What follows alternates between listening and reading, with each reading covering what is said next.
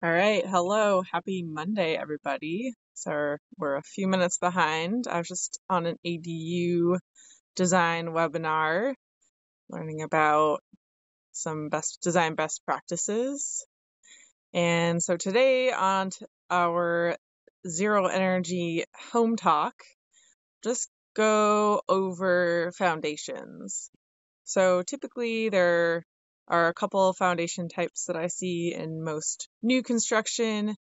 They are slab, a slab, like slab on grade, or if it's a basement slab, I don't see basements as much. So, but, so it's typically slab on grade, and then also crawl space, which have a frame floor and a, a space underneath it. So as far as energy efficiency goes and net zero energy, with a slab on grade, it kind of depends. So for all all slab on grades, you should, you should ideally insulate underneath them, whether or not you have a radiant in-floor heating system, but especially if you have that. So if you are having um, hydronic heat in your slab, you should insulate to at least R15. Better would be R20. So what does that look like? You have to use a type of insulation material that can withstand the weight of the concrete. So typically I see uh, foam blue board, so extruded polystyrene underneath, which has an R value of 5 per inch. So for R15, that would be 3 inches, and for R20, that would be 4 inches. So you can do that in different combinations of two two inch layers or you know if it comes i'm not sure if it comes in three inch but a two inch layer and a one inch layer so depending on what your r value is.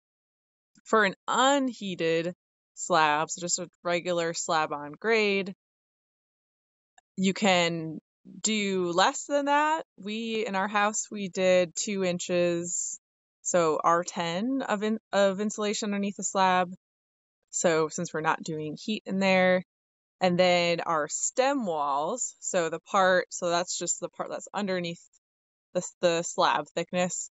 And then the stem walls of the foundation, so around the perimeter of the slab, those are made out of the ICF blocks. So there's two and a half inches on the inside of the wall and two and a half inches on the outside. So we have a continuous insulation on the from the inside of the stem wall underneath the slab inside the stem wall and then the footing is underneath that. There is one part of our slab that we could not insulate under, which is the what the bearing wall for the stairwell and the floor up above that. So we just have a short section that we were unable to insulate underneath because it needed to be on native ground that was solid and not on the foam. At least that's what our engineer had told us. So if you know more about that kind of thing where you could possibly insulate underneath a bearing surface, let, let us know. So our exterior stem walls are, the footings are on native ground. So the bottom of the footing does not have any insulation underneath. It's just touching the bare ground. And so this really, the purpose of the insulation is again to resist heat flow, so that thermal resistance. And the, the more insulation is, the better. It helps that conduction through the slab into the ground. Let's see. I'm trying to think there's anything else for slabs. Some, I see some new homes that will just insulate the stem wall. That is code where you can insulate the inside of the stem wall and not under the slab if there's no heating in the slab. So that is really looking at stopping the resistance, the heat transfer from underneath the slab area to the outside. But it's, I don't, and I don't know the status, like the actual facts on this, but it seems to me like it would be maybe not quite as effective at slowing the conduction down as if you just had underneath insulation all the way underneath the slab. So then I'm just going to show you a picture and just show you or a uh, so this is that detail. This is our first floor plans. So these are our our ICF walls. So that's that is the insulation and that's the inside. That's the concrete of the ICF. So insulation, concrete, insulation. This dash line is where the footing extends. And then here there is that is the thickened slab area. So the slab goes here so that we had to stop the insulation around where this where the thickened slab area is. And this is the bearing wall for the floor above. And so the stairs are going here. So this is our little area that we don't have any insulation. And then we have a note here. So four inch thick slab. There's rebar in there over R10 rigid insulation, over 10 mil vapor barrier, over 5 inches of 3 quarter inch crust minus compacted to 95% dry density. So we did both insulation and a vapor barrier because it just gives us a little bit extra protection from from potential moisture flow through the slab. It's I have read that it's also okay to use your rigid insulation and tape the seams. And that would be a, a, an effective way that's a little bit more cost effective to make sure you have a vapor barrier underneath your slab. But we just did both as an extra precaution and it maybe cost us a hundred and yeah, like a little over a hundred dollars more. So we used, yeah, a 10 mil vapor barrier. And the way we layered it was, yeah, exactly what they said. So we did, I think, I actually can't remember. I have to go back at my photos. Uh, because some people put the vapor barrier down on top of the gravel and some go on top of the foam. So I, I'm trying to remember what we did. I have to look at pictures. It's too long ago. And then here's a detail. So here's a detail of that thickened slab area. So that this part and this part is where we had to dig down a little bit more. And then that's, this is, sits on native ground. And then this is crushed rock under here for a little bit. And then we added, this detail doesn't actually have the foam in here, but this is a slab and that extends. And then we had the foam underneath there. Okay, so the other foundation type, so slabs are really airtight, airtight and I see them in the higher performing houses that are more that do better on the blower door tests have our slab on grade and so it's just a better way of air sealing that or it's easier too so okay so crawl spaces so typically a crawl space you have concrete stem walls with uh, on top of footings and then you have maybe two to three feet, maybe less, maybe more, depending on the site, and it could be sloped underneath there. And then you have a framed floor on top of that.